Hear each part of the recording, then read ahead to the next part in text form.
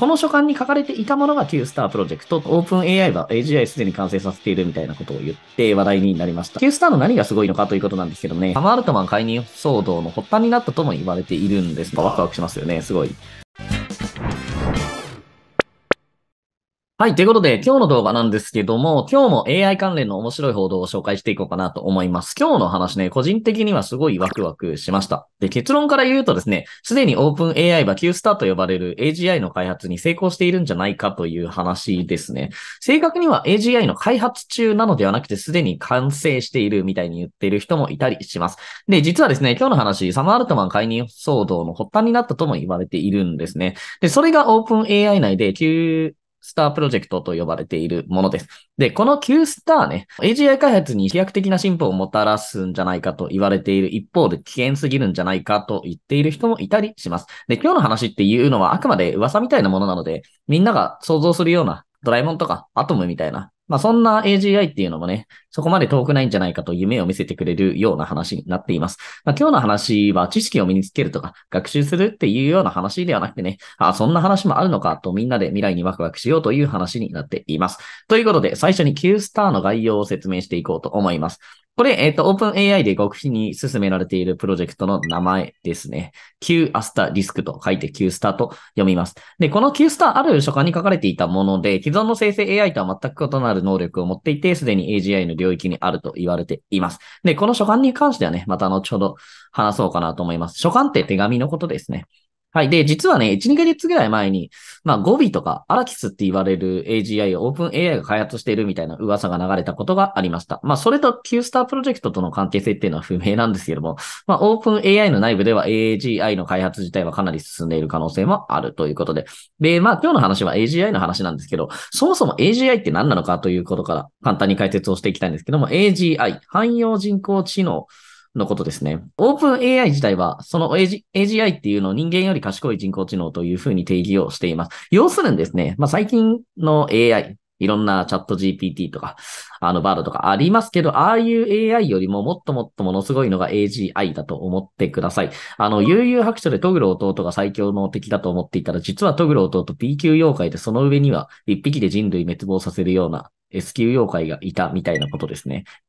はい。自分たちがすごいすごいと驚いていた AI も後になってみると何でもなかったってなるかもしれないですね。はい。ちなみに OpenAI のミッションは人間よりも賢い AI である AGI 作って人類に利益をもたらすことというふうになっています。で、もうちょっとね、詳しく AGI と AI の違いを解説しようかなと思います。で、AI ってそもそも何なのかっていうとですね、あの、特定のタスクを遂行するために作られたものが AI ですね。だから文章を書くとか、画像を生成するとか、まあ、そういうものが AI です。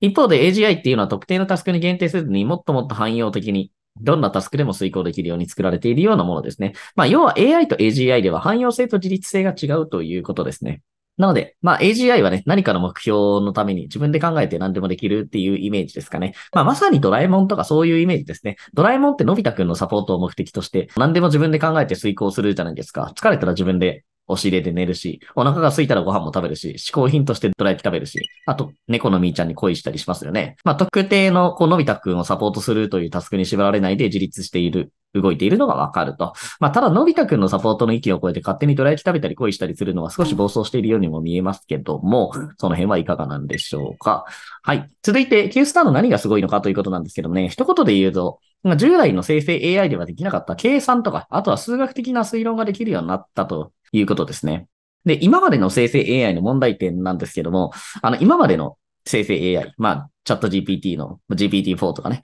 あとは Bard とかなんですけど、まあ、そういうのって文章生成得意なんですけど、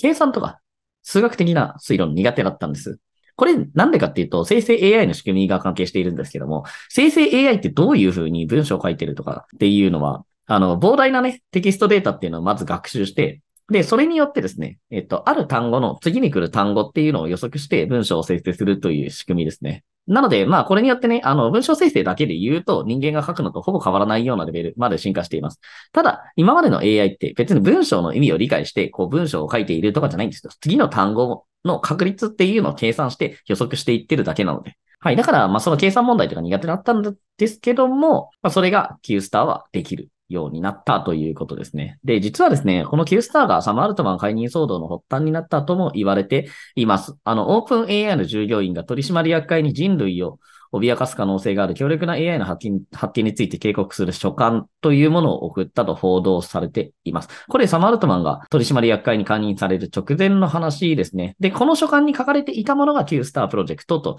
言われるものですね。で、Q スターの開発を進めていち早く商業化したいビジネス派と、こんな凄すぎる Q スターを進めると危険だと主張する慎重派ですね。まあその辺で意見が対立した結果、サマルトマン解任につながったとされているんですけど、まあその辺のね、サマルトマン解任の本当の理由みたいなところは今のところは分かっていないです。で、書簡に何が書かれていたかということなんですけども、まあ書簡にはね、その Q スタープロジェクトについて書かれていたんですけども、で、Q スターっていうのはその数学的推論能力が従来の AI よりも優れていて、人間レベルのあ小学生レベルですね。の数学のテストには合格したということが書かれていたということですね。でですね、まあ今の話を聞いてね、なんだ小学生レベルかと、今日もプロ驚き屋が健在だなと思ったかもしれないけどね、それはね、ちょっと違うかもしれないんですよ。プロ驚き屋が健在というのはまあそうなんですけども、オープン AI のね、定義する AGI って、まあ人間よりも賢い AI なんですけど、まあそれとはちょっと違うんですけども、まあ、あくまで小学生レベルなんでね。ただ、小学生レベルだから別に AGI ではないってことではないですよね。まあ、一般的に汎用性が高くて自立するということを考えると、小学生だって自分で